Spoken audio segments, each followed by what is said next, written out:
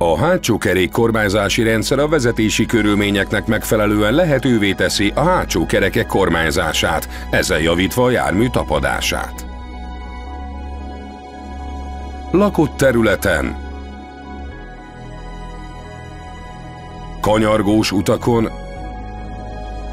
Vagy manőverezéskor a hátsó kerekek az első kerekekkel ellentétes irányba fordulnak, hogy javítsák a gépkocsi kezelhetőségét.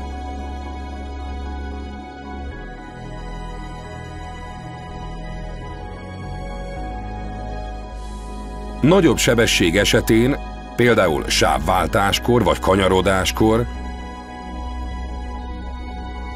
a hátsó kerekek az első kerekekkel azonos irányba fordulnak, hogy fokozzák a jármű stabilitását.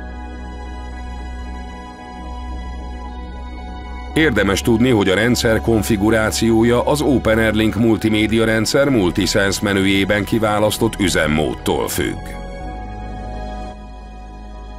Ha a műszeregységen megjelenik ez a visszajelző, az ellenőrizze a kormányzást üzenettel, forduljon márka kereskedőhöz.